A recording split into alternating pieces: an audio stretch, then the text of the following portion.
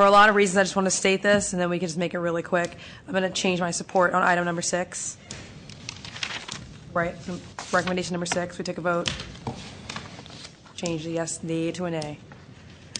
Uh, Recommendation six from staff um, is to prohibit hosting platforms from listing any unit that did not maintain good standing on the city's short-term registry. I, I think that this is a, an important part of our enforcement program. I, I would go one step farther and say that this is actually the linchpin of our enforcement program. So on recommendation six, to prohibit hosting platforms from listing any unit that did not maintain good standing on the city's registry. Commissioner Johnson. Aye.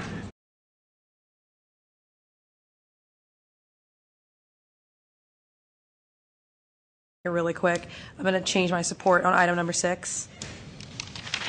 Right, recommendation number six, we take a vote. Change the yes, the to an A. Just to clarify, you were rescinding or changing your vote on I, recommendation.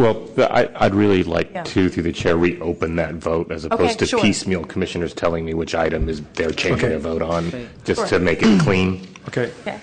So that recommendation will not move forward by a vote of three to four now, with Commissioners Antonini, Hillis, Johnson, and Fong voting against.